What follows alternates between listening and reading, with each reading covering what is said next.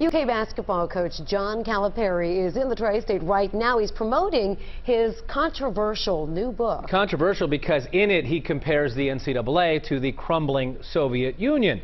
WLWT News 5's Allison Montoya live in Crestview Hills, Kentucky with people going wild about this head Wildcat. Allison.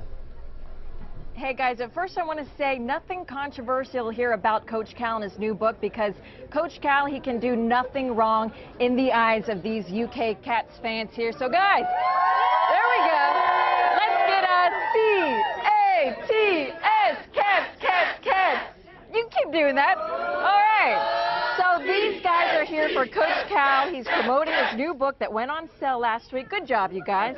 Now, this book, it's called Players First, Coaching from the Inside Out. In a recent interview, Coach Cal said, this book gives me the chance to go in depth about how we do things at Kentucky and why we do what we do. Now, among the pack of Wildcats fans here, we found Jess Dykes, the lovely wife of our very own Todd Dykes. Jess is also a proud alum at UK, and at the station, we also know that Todd is a huge fan. So we all know now what he's getting for his birthday.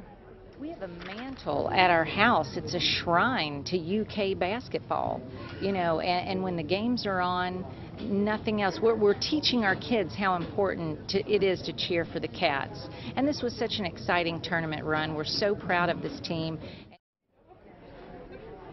All right, guys, I'm told anywhere from 500 to 600 people are here. They even brought some babies along so Coach Cal can shake hands and kiss some babies. And of course, you guys, I'm a proud UK alum, so I got my own book to get signed by Coach Cal, and uh, my grandma, I'm bringing that home for you today. Reporting live from Crestview oh Hills at Just Joseph Beth Booksellers, Allison Montoya. Back to you guys. All right, Allison.